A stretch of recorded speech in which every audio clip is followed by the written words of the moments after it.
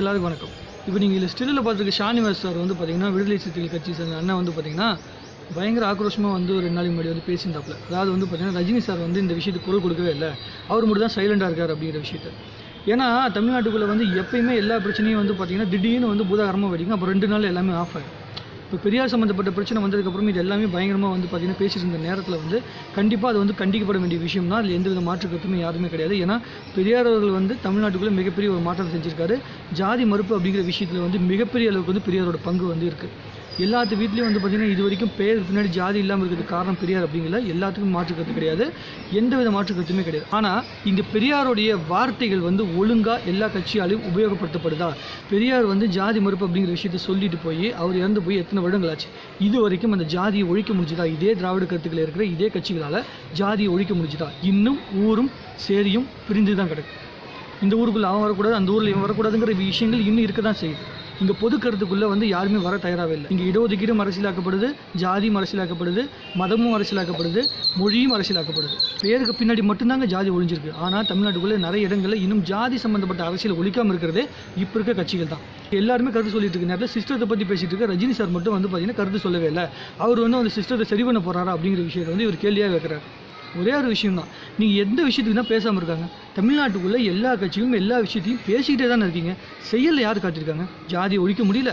அதே மாதிரி எல்லாத்துக்கும் வேலைவாய்ப்பு கொடுக்க முடியல. சாதாரண தமிழக மக்களுக்கும் அரசியல்வாதிகளுக்கும் எங்கெங்கே நெருக்கம் இருக்குது ஒரு ஏரியாவோட எம்எல்ஏ பார்க்க முடியல. ஏங்க கவுன்சிலரே பார்க்க முடியலைங்க. சாதாரண கவுன்சிலருக்குமே சாதாரண மக்களுக்குமே வந்து பார்த்தீங்கன்னா மிகப்பெரிய கேப் இருக்குது அந்த கேப்பை நிரப்புற இடத்த இது வரைக்கும் எங்கே பண்ணியிருக்கீங்க? அதுதாங்க சிஸ்டம் ஃபெயிலியர் சிஸ்டம் ஃபெயிலியர் அப்படிங்கிற வார்த்தை கேட்கும்போது எனக்கு வந்து ரொம்ப வருத்தமாக இருக்குது நீங்கள் சாதாரண மக்கள்கிட்ட போய் கேட்டு பாருங்கள் பூ விற்கிறவங்ககிட்ட போய் கேட்டு பாருங்கள் ஒரு ஆட்டோ டிரைவர்கிட்ட போய் கேட்டு பாருங்க. அவன் சொல்லுவான் கவர்மெண்ட்டு இருந்து எனக்கு எதுவுமே வரலைங்க. நான் ஒரு தொழில் பண்ணுறேன் அப்படின்னா நான் கடன் வாங்கி தாங்க தொழில் பண்ணுறேன் ஒரு சாதாரண தொழில் பண்ணுறது கூட கவர்மெண்ட்டு இருந்து எந்த விஷயத்துமே எடுத்துக்க முடியல. சாதாரண தொழில் பண்ணுறதுக்கு எதுவுமே செய்ய மாட்டேங்கிறாங்க கவர்மெண்ட் அப்படின்னு சொல்லி ரொம்ப சாதாரண வார்த்தையில் சொல்கிறாங்க கவர்மெண்ட்டுக்கும் எங்களுக்கும் என்றைக்குங்க வந்து ஒரு நெருக்கம் இருந்திருக்கு அவங்க பாட்டு அங்கே ஆட்சி பண்ணுறேன்னு சொல்கிறாங்க நாங்கள் பாட்டு இங்கே வேலையை பார்த்துட்டு இருக்குமே தவிர எங்களுக்கு என்னங்க வந்து பலன் அடைஞ்சிருக்கு மழை வந்தால் மொத்தமாக வருது. அதே மாதிரி வந்து வெயில் வந்தால் மொத்தமாக வெயில் வருது. எங்கேயுமே தண்ணி கிடையாது.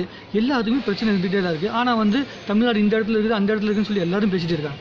ஒரே ஒரு விஷயம் தான் நீங்கள் சொல்கிற மாதிரி சிஸ்டம் வந்து சரியாக இருந்துச்சுன்னா அதாவது இப்போ இருக்க எல்லா கட்சிகளும் சிஸ்டத்தை ஒழுங்காக பார்த்துட்டு இருக்காங்க அப்படின்னா கண்டிப்பாக ரஜினி சாருக்கு வந்து மக்கள் ஓட்டு போட மாட்டாங்க. ஒருவேளை உங்களுடைய சிஸ்டத்தில் வந்து ரஜினி சார் சொன்ன மாதிரி குறை இருந்திருந்தால் அந்த குறையை வந்து இது வரைக்கும் நீங்கள் சரி செய்யாமல் வச்சுருந்தா அதை சரி செய்ய முடியும் அப்படிங்கிற நம்பிக்கை ரஜினி சார் மேலே மக்களுக்கு இருந்தால் ரஜினி சாருக்கு வந்து வாய்ப்பு கொடுப்பாங்க. அதை வந்து யாரும் தடுக்க முடியாதுங்க. இந்த அண்ணனுடைய கட்சியோட தலைவர் தான் வந்து பார்த்தீங்கன்னா திருமாவளவன் அண்ணன்.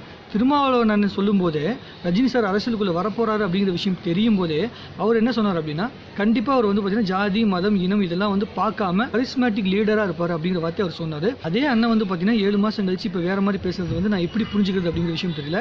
குரல் கொடுக்கணும்னு சொன்னீங்க ரஜினி சார் குரல் கொடுத்துட்டாரு. கண்டிப்பாக வந்து அது காட்டுமுராண்டித்தனம் அப்படிங்கிற விஷயத்த அழுத்தமாக பதிவு பண்ணிட்டாரு. இதுக்கப்புறமேட்டு இந்த முடிவை நோக்கி நீங்கள் எங்கே நகர போறீங்க அப்படிங்கிற விஷயத்த மக்கள் பார்க்க தான் போகிறாங்க எல்லாரும் குரல் கொடுத்தாச்சு இல்லை. ஸோ இதுக்கப்புறம் அதிகாரத்தில் இருக்கிறவங்க இந்த பிரச்சனையை எப்படி கையாளுறாங்க அப்படிங்கிற விஷயத்த மக்கள் பார்ப்பாங்க. ஒரே ஒரு விஷயம் மனசுக்கு போகிற விஷயத்த சொல்கிறேன் எல்லாருமே பேசிகிட்டே இருக்காங்க. எதுவுமே செயலில் நடக்கலை அப்படின்னு சொல்லி தான் மக்கள் வந்து ரொம்ப சோர்ந்து போயிருக்காங்க.